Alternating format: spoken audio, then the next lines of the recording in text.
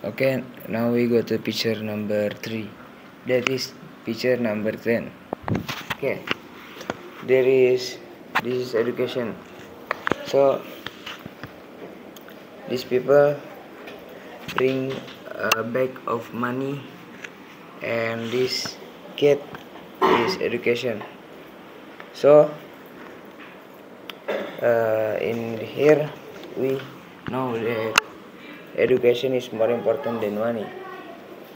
And uh, how much money you put how much money you have is not important. The more important is education. Okay the moral message is education is more important than money.